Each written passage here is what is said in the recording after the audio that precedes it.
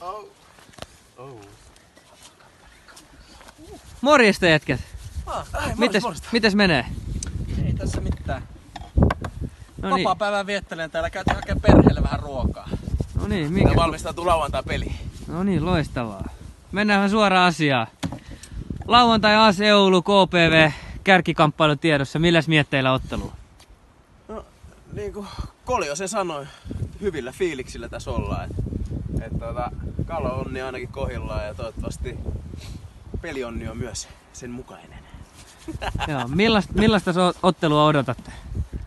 Kovaa, kovaa, kovaa matsia KPV on kärkijoukkoja, päästään haastamaan niitä ja meillä on tässä viime aikoina mennyt pelit hyvin tuloksellisesti ja pelillisestikin, niin veikkaa, että on aikamoinen taistelu tulossa. Vähän samanlainen taistelu kuin tuossa noin äsken tää Kalan oli kyllä melkoinen taistelu. Taisteli siellä ihan kunnolla, niin samanlainen taistelu ja me ollaan valmiita ainakin.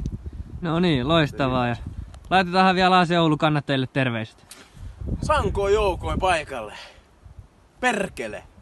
Nyt on iso peli kyseessä. Jos ei nyt innosta, niin ei innosta koskaan. Ja nyt me mennään syömään.